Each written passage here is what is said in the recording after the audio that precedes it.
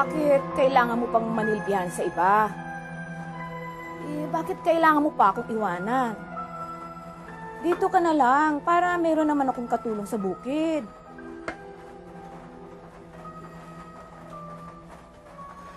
Nay, nasa Maynila ang pag-asa natin.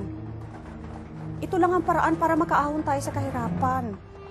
Huwag kang mag-alala, mag-iipon lang ako tapos mag-aaral ako tapos babalik din ako kagad dito.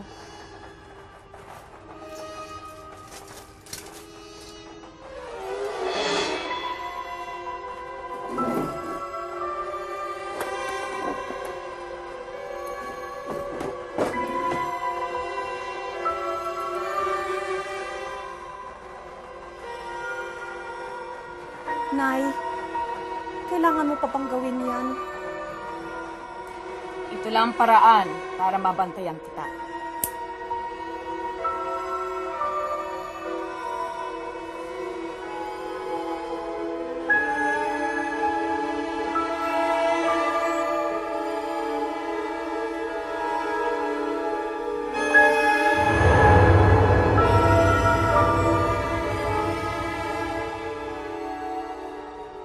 Hanggat buhay ang kalapating ito, walang mangyayari sa'yo. Ito lang ang tanging paraan, ang proteksyon para maiwasan ang kaguluhan sa buhay mo. Nay, nakikiusap ako sa iyo. Huwag kang gagawa ng kahit na ano na ikasasama ng ibang tao. Umiwas tayo sa gulo.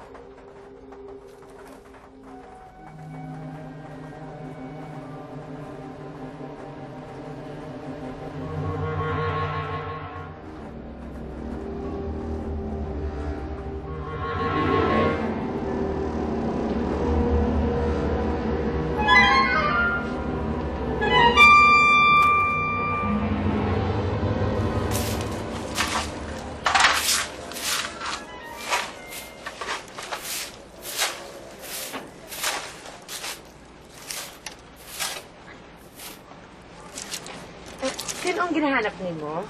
Pinadala ho ako dito ng ahensya. Ako po ho yung bagong katulong. Ha? Bagong patulong?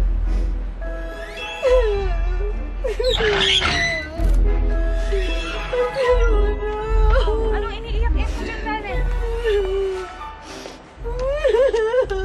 Ah, sila sila? A- ako si Clarita. Pinadala ako dito ng ahensya. Kayo ho ba si Mrs. Rodriguez? Mrs. Rodriguez? Opo. Ah, meron ka bang address? Pakita nga. Ay, opo, opo. Ito po.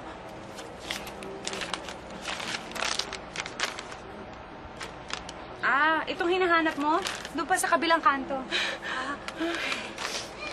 Pasensya na po kayo. Bago lang po ako dito sa Maynila at nagugulan pa rin po ako eh. Sige po, mauna na po ako. Ah, miss. Miss.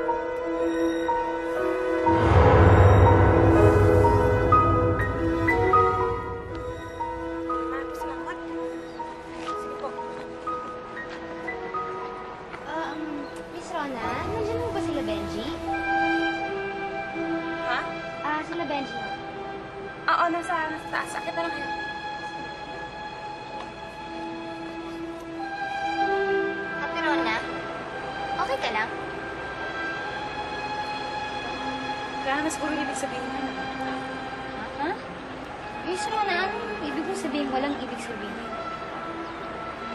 Sige. Ito na akong office. Diyan sila sa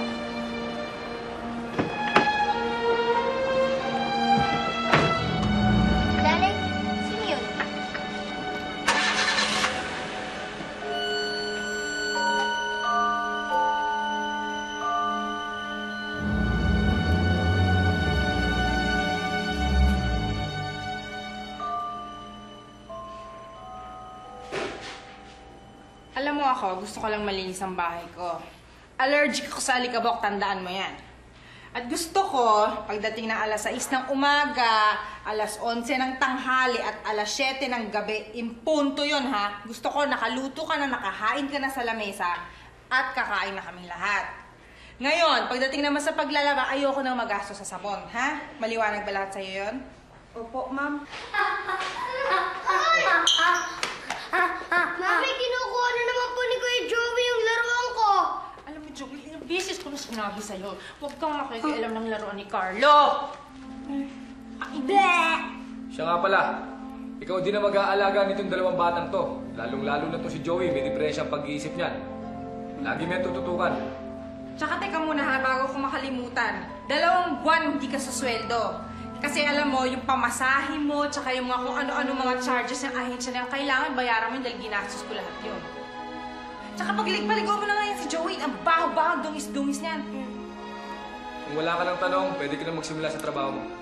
Sige, alis na ako. Papasok na ako. Sige.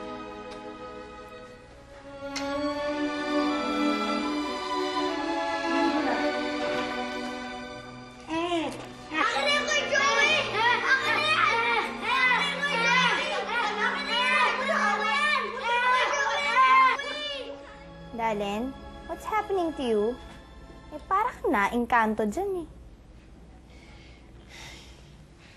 Yung hawak kasi ni Clareta kanina eh. Yung balahibo ba ng kalapate? Balahibo? O bakit? Ano naman meron doon sa balahibo na yun? Benji, kwento kasi sa akin ng lola ko dati, iisang angkan lang ang may hawak na balahibong yan. Yung mga wawang. Wawang? Dalin, ano naman yung wawang na yan? Nakatira sila sa isang liblib na pook dun sa kapis. Medyo malayo sila sa kabihasnan, kaya mahirap lang sila. Yung mga napapasukan nila mga trabaho, mga katulong lang, yung pagiging katulong, katulad ko. Eh, bakit naman sila naging mapanganib? May kapangyarihan maghasik ng lagim ang mga wawang na yan. At gagawin nila ito kapag may inaping miyembro sa kanilang pamilya. Sumusugod yung mga wawang yan papunta dun sa ka- kamag-anak nilang inapi. At malalaman nila kapag inapi ang kamag-anak nila sa pamamagitan ng pinanggalingan ng balahibong yun. Dalen, di ba taga-kapis ka rin? Oo, bakit? Good boy ka lang, Joey, ah. Pagod na pagod si Yaya. Katatapos lang maglaba. Yaya? Gagalit? Bakit naman ako magagalit kung good boy si Joey? Eh, kasi, mami, d- daddy, pa papalo ako. Si Carlo, am- ampas din ako.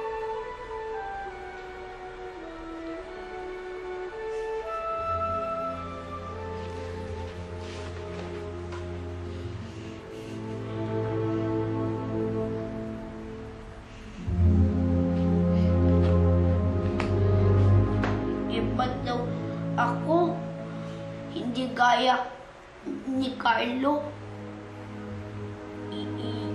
Yaya? Galit ka sa akin?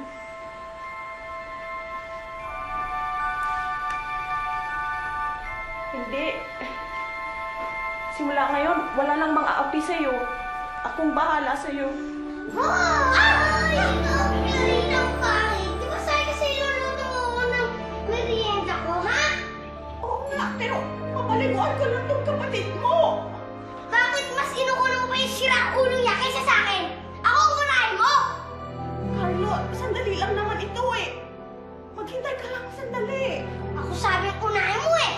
Eh!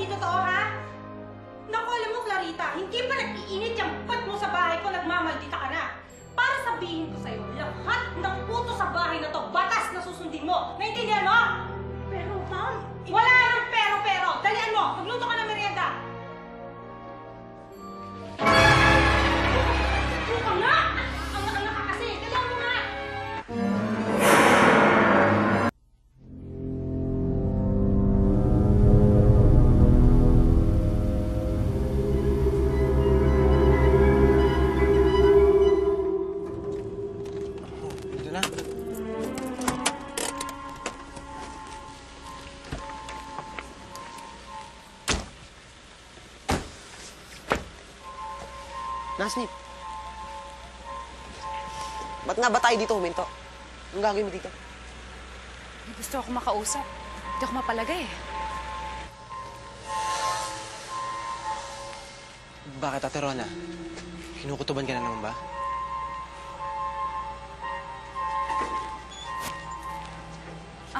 Clarita? Bakit ako kayo napapunta dito? Ah, hindi. Meron lang ako sanang gustong itanong sa'yo eh. May problema ka ba sa bahay na to? Wala po. Bakit yung po natanong yan? May alam mo ba kayo? Wala naman. Kasi mahirap i-explain eh. Kahapon kasi, nung nahulog yung feather sa'yo, tas dinampot ko, meron ako nakitang patay na kalapate. Paano niyo alam tungkol sa kalapati? Ah, hindi ko lang kasi maintindihan eh, yung kalapating yon. Kaya nga gusto kitang kausapin. Larita! Larita! Ah, tina- tinatawag na po ako ng amo ko. Kailangan ko na Ay, umalis. eh, sandali lang. Kasi gusto kitang makausap talaga eh. Hindi mo pa nasasagot yung tanong ko. Pwede?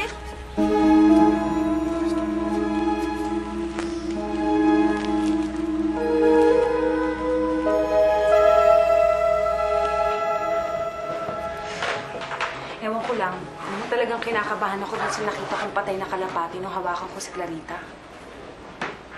Baka ate siya yung sinasabi ni Dali na wawang. Ang pamilyang pumapatay kapag inaapi. May lang, Nasnip. Anong ibig mo sabihin? Pumapatay pag inaapi. Si Clarita. Baka siya yung wawang. Siguradong papatay ang pamilya niya para gumanti kapag inapi mo siya. Teka, teka, Benji. Anong ibig mo sabihin yung nakita ang kalapati ni Ate Rona? Yung kalapating patay, yun yung amo ni ano, Clarita? Ayun na nga hindi ko maintindihan eh. Kung mapapatay niya ang pamilya, bakit isang kalapati lang ang nakita kong patay?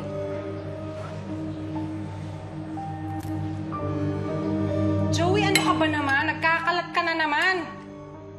Bakit pa kasi dito pinapakain niya si Kuya Joey? Di ba dapat pinapakain niya sa kusina? Asan na ba si Clarita? Clarita! Clarita!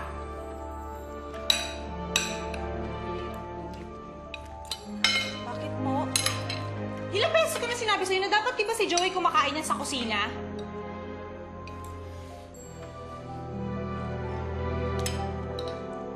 Clarita, kumuha ka nga muna ng kanin.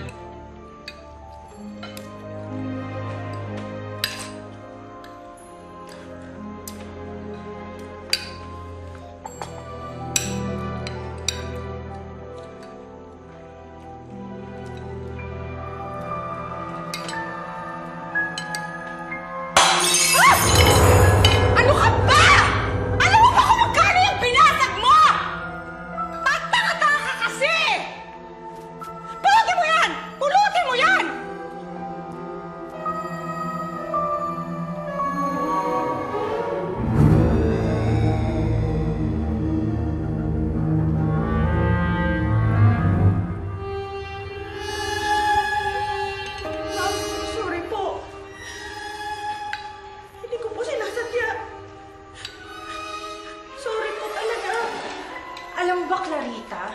Ha? Alam mo ba na kung sorry mo na yan, kaya ba yung bayaran? Kaya ba yung bayaran yung binasa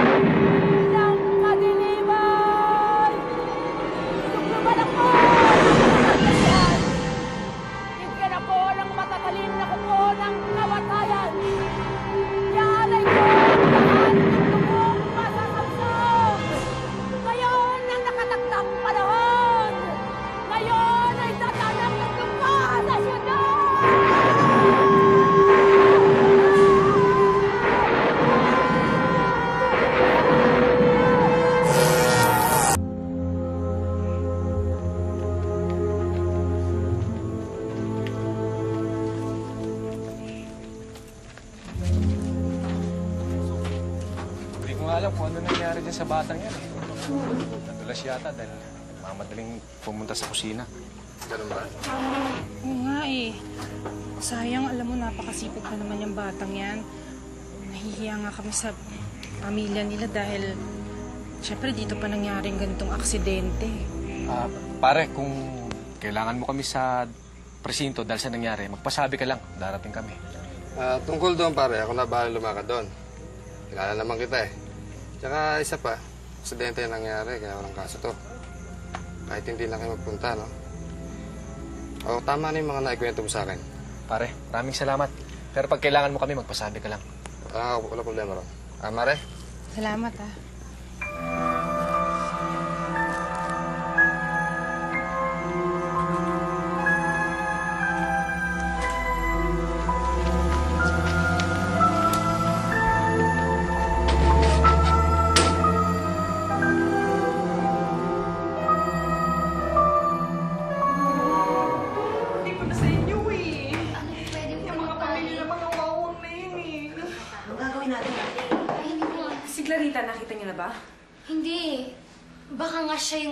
Dun sa bahay. Kumilos tayo agad. Eh, sana hindi na nangyari to. Naku, Ate Luna, may masamang mangyayari. Gaganti ang mga pamilya ng mga wawang. Anong gagawin natin? Ano pa? Eh di sabihin natin yung may-ari ng bahay na mag-ingat. Ano mo sabihin, Benji? Pupuntahan natin sila? Teka lang, teka lang. Delikado yata yun ah. Meron nang namatay, tas pupuntahan pa natin. Wala namang ganyanan. Ano ba? Natatakot ako. Baka magbuko tayo. Ano ka ba? Hindi mo ba narinig kanina na wala na tayong kaso? Ako nang bahala doon. Ano ba't naging kumpare natin siya? Ano na lang silbi na impluensya ko? Basta walang magsasalita sa inyo. Pag may nagtanong sa inyo, sabihin nyo aksidente. Eh, paano kung tanongin nila si Joey? Sino maniniwala dyan? Ako nang bahala sa inyo.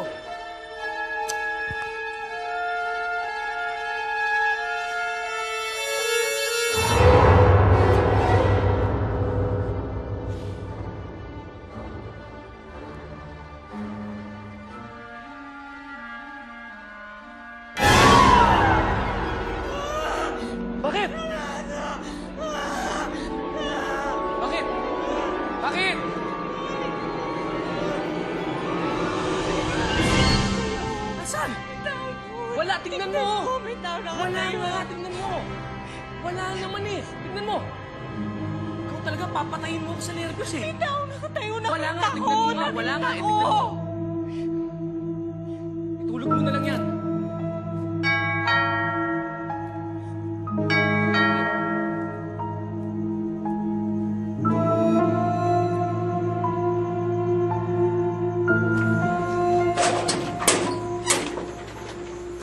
Ano kailangan nyo? Hindi ko alam kung maniniwala kayo sa akin, pero may namumuong panganib ko sa bahay ninyo. Sasabi nyo, mga siraulo. Maniwala ko kayo sa akin, nanganganib ang buhay ninyo. Lumayas na kayo! Tumawag pa ako ng pulis! Basta! Ate, tara na. Ate, na tayo, ate.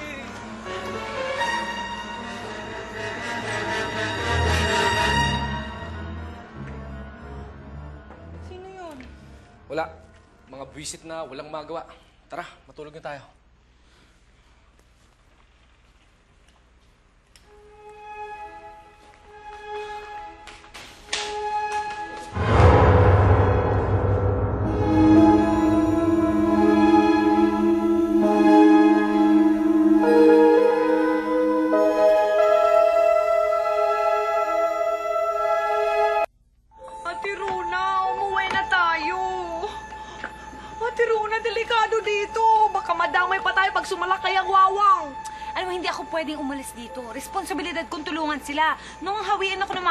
Kanina, nakita ko patay yung buong pamilya niya. Eh, we tried naman, di ba? Tsaka binastos na nga tayo ng may-ari. Tutulungan pa natin sila. Oo nga, Nasnip. Kung ayaw nila patulong, edi wag. Hindi mo naman kasalanan yun eh. Nico, pero tama si Miss Rona. Maraming buhay ang mawawala. Hindi ba kayo nakakonsensya? Alam naman natin yung mangyayari. eh. Tapos, wala naman tayong ginagawa. Eh, paano nga? Ano nga ang gagawin natin? Paano natin sila mapapaniwala kung sa mga sasabihin natin?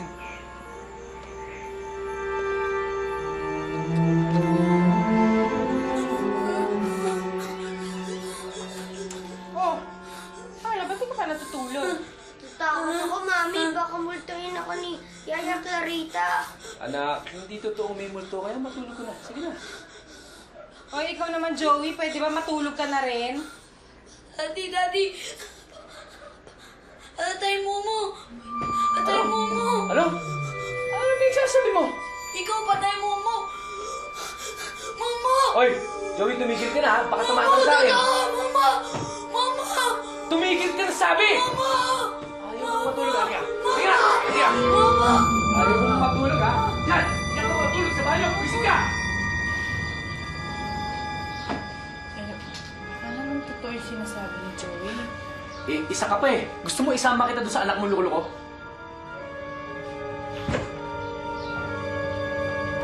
Uy, Carlo, ikaw matulog ka na ha?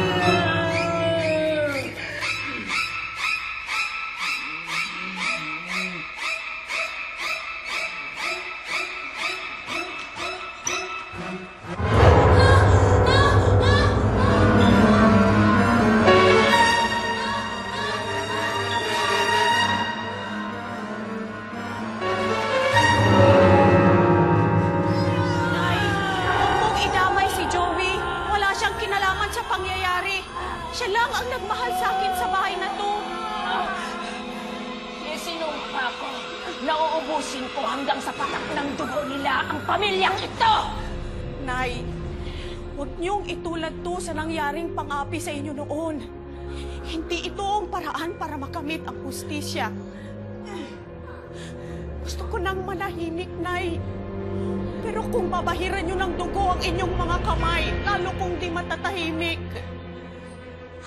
Mahal na mahal ko kayo, Nay. Ayokong bumalik ang sumpa sa inyo balang araw. Hindi! Hindi maaaring putulin ang tradisyong kinagisnan ko ng lahat ng mga api sa mga katulang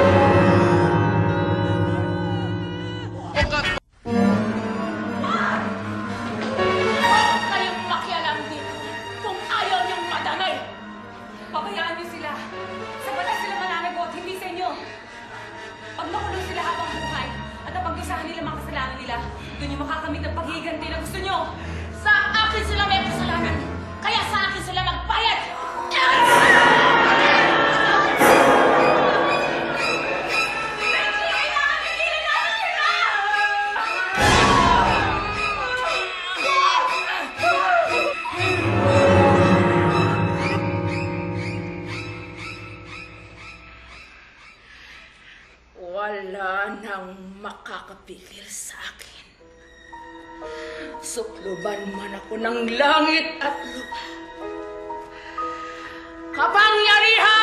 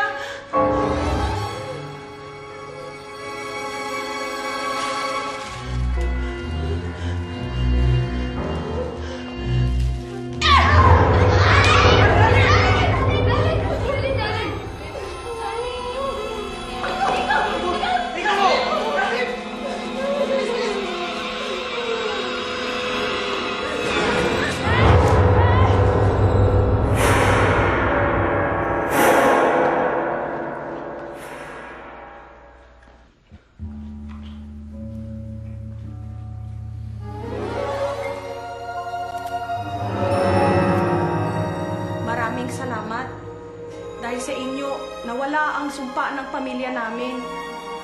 Nasisiguro kong mananahimik na ako at ang nanay ko ng lubusan.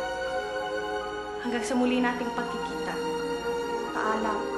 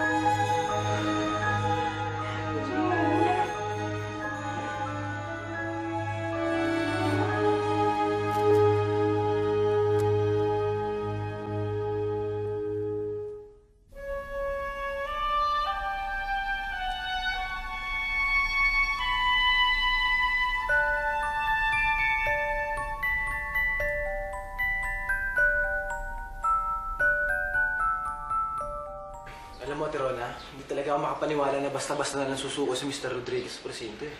Oo, at saka alam mo, ang dami niya sinayang sa buhay niya. Biruin mo, ang ganda ng business niya. Tapos, kompleto pa yung pamilya niya. Ay, meron din naman siyang ginawang mas maganda pa sa mga sinasabi niyo. Yun yung tanggapin at pagsisihan ng mga kasalanan niya. Diba? Tama. Tsaka, alam mo, tama rin yan. eh. Dapat ang mga katulong talaga, itinuturing natin kapamilya, di ba, Ate Dani? hindi natin sila dapat inaaway, hindi rin natin sila Teka, nasa na nga ba si Nico? Nico! Nico! Oy, Nico, bilis na dyan, ha? Ayan, ilapag din eh, ha? Dinhi, dinhi, dinhi mo ilapag, ha? Pastes, pastes, pastes lang. Konti. Eto na, Ma'am Dali. Nagmamadali ka naman kasi masyado eh. Mami, makabasag pa ako. Teka, teka. Nico, bakit ikaw ang nagsaserve sa amin? Hindi pa kumpleto. Eh, kasi ano eh, ah, bumabawi lang naman ako kay Ma'am Dalit sa mga pang-aasar na ginawa ko sa kanya. Ah. Okay? Ah, ah. Bakit? Natatawa Mamaya, gawin akong ibon yan. Ha? Ay, eh, hindi ka nga ginawang ibon. Ginawa ka ng chimoy. Wala kang eyes. Chimoy! Eyes. Chimoy! Chimoy!